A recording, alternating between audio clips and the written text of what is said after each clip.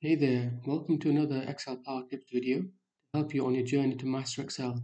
So here we have different length texts in column A and each has an email address somewhere in it. So your job would be to extract the fictitious email addresses. So how do you go about doing it? Well, you'll use this formula. So when you enter the formula in the cell and copy it down, the formula successfully extracts the email address from each of the different length text. So next, I'll show you the step-by-step -step building process of creating this email extraction formula that you can use yourself in your work. Also, I've included the full step-by-step -step process in the video description. So let's do this. Here's the step-by-step -step building process in creating the email extraction formula. So we've got the text in column A and the text they start from cell A3. So the first step is uh, we need to substitute every space with 25 spaces. So that means every space, uh, the space between each word in the text needs to be replaced with 25 spaces. We type equals and then type the first letters of the word substitute. Then Excel comes up with a substitute formula and press tab and it has four arguments. Text, old text, new text and instance number you can ignore instance number.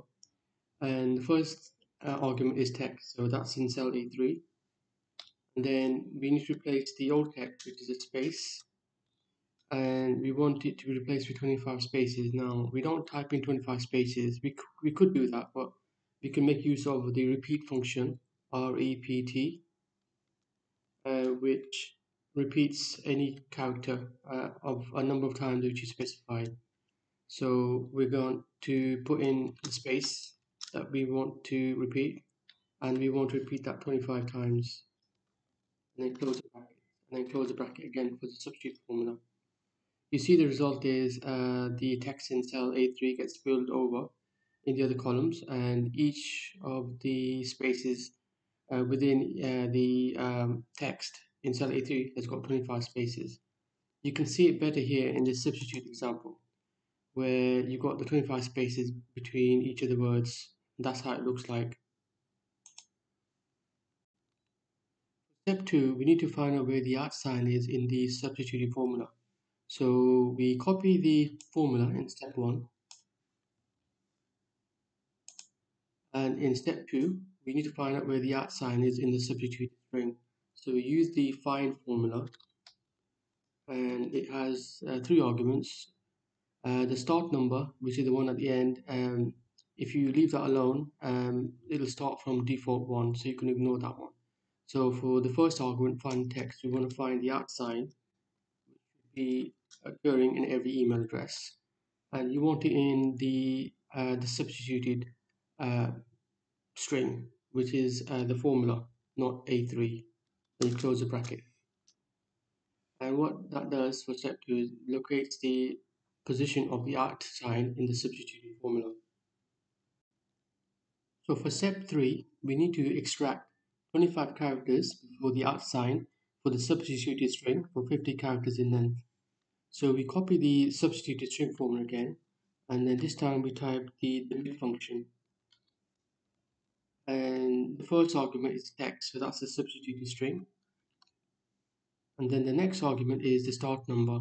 So we want to find uh, the at sign of the substituted string and then take off 25. So as you saw in step 2, use a find formula to search for the at sign in the substituted formula string, close brackets, then we take 25 away from that position and then from that position uh, we extract 50 characters, close bracket. So now you can see it's like almost done now. It's extracted the email address. Um, but what you can't see is uh, it has spaces um, in front of the, it's got leading spaces and trailing spaces in the email address. That was because of the substitution of space with 25 spaces. So for step 4, all we need to do is copy the formula in step 3 and then use the trim function in step 4 close the brackets. So now it's extracted uh, successfully the email address from the text with no uh, leading and trailing spaces. Now all we need to do now is copy the formulas down.